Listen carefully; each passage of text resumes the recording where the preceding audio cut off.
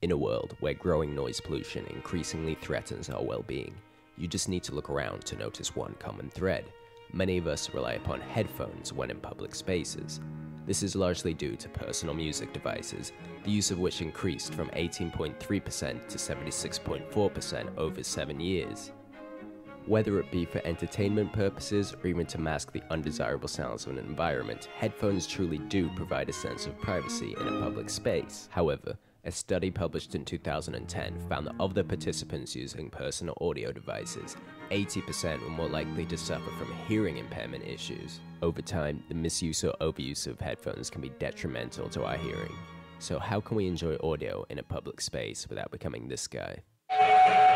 Personal sound zones. Personal sound zones are specified regions within the same space whereby different audio programs can be delivered to each region with minimal interference between regions. For example, in the perfect implementation, while generating a region of complete silence for this person by the windows, two loudspeaker arrays can deliver opera to the person over here and something completely different to the people over here. Using a traditional stereo system, that's going to sound something like this. But by using this technology, each listener can enjoy their own audio without interference.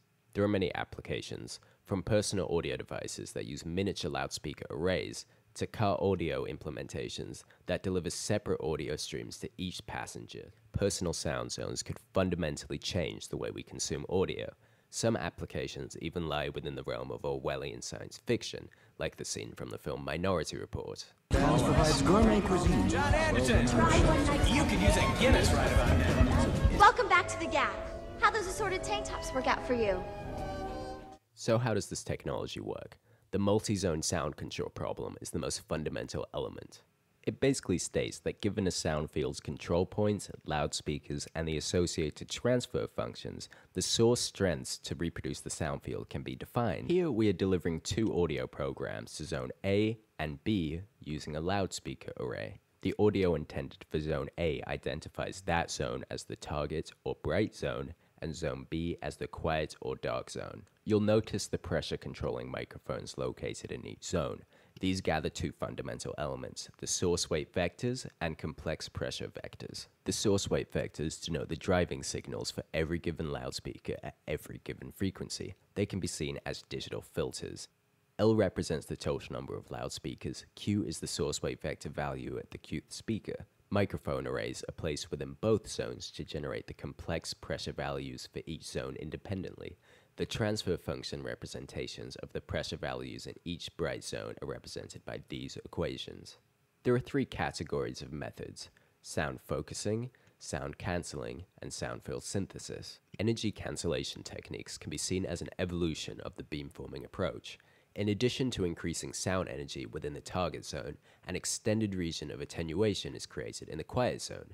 Acoustic contrast control is a promising method that calculates the sum of squared pressures in both zones and uses the ratio between them to maximize the contrast between zones. Because acoustic contrast control minimizes the sound pressure level within the quiet zone, a feature that beamforming does not have, it is able to achieve excellent contrast between zones and matches the planarity of traditional beamforming approaches. Planarity is the term used to evaluate the performance of the target zone. A high level of planarity is equivalent to uniform distribution of energy within the target zone. Unfortunately, both control techniques exhibit the same problem. Although they achieve adequate contrast, they are hindered by audio artifacts caused by uncontrolled phases within the target zone. This can result in an unstable planarity. Only one method is able to address this issue, pressure matching. The method stems from the traditional crosstalk cancellation problem, where small regions of personal audio can be created by controlling the pressure of the sound field at discrete spatial locations. This method is able to resolve the uncontrollable phase issues and provide a more stable planarity, unfortunately at the cost of zone contrast and large power consumption. So now we reach the problem with current personal sound zone technology. Methods cannot demonstrate good planarity and good contrast simultaneously. Hybrid approaches are intended to resolve this trade-off between fidelity and interference. While ACC provides a high degree of contrast, the PM synthesized field is able to control the phases within zones. This type of approach could be fundamental to consumer applications in the future.